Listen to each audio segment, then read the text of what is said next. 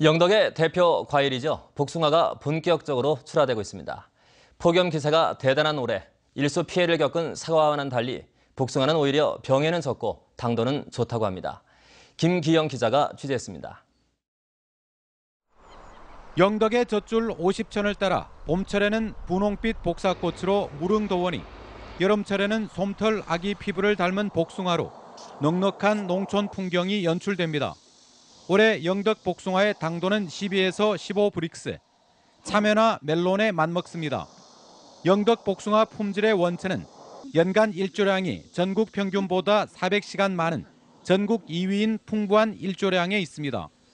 가격은 5kg에 2, 3만 원으로 작년과 변동이 없다 보니 판매하는데 애로는 전혀 없습니다.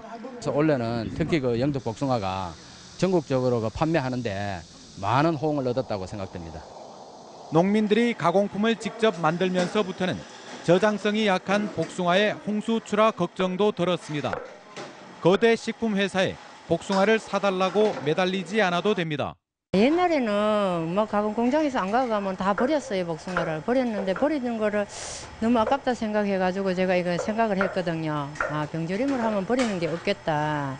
11년 전 한칠레 FTA 체결에 따른 폐원 정책으로 170헥타까지 떨어졌던 영덕의 복숭아 재배 면적은 270헥타로 오히려 늘었습니다.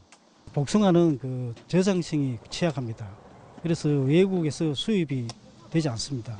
그러나 소비자들이 생식용 복숭아를 선호하기 때문에 다시 재배 면적이 늘어났습니다.